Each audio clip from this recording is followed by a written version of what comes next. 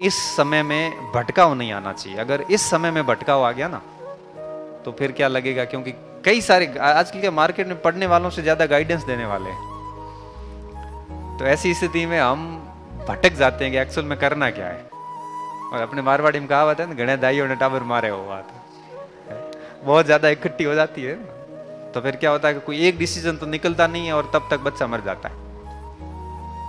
तो इसने ज़्यादा जब हो जाते हैं ना तो समस्या ये आती है किसको फॉलो करें? कोई कहता है कि ये किताब पढ़ो, कोई कहता है ये पढ़ो, दोस्त कहता है ये पढ़ो, वो कहता है ये पढ़ो। अब बच्चा बीच में फुटबॉल बना हुआ है। अब पढ़ना क्या है?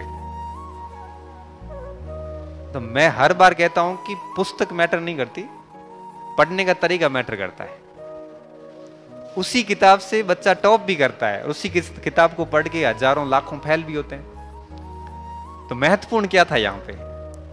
महत्वपूर्ण था कि आपने उस कंटेंट पे कितना विश्वास किया है और किस स्तर का आपने पढ़ा है।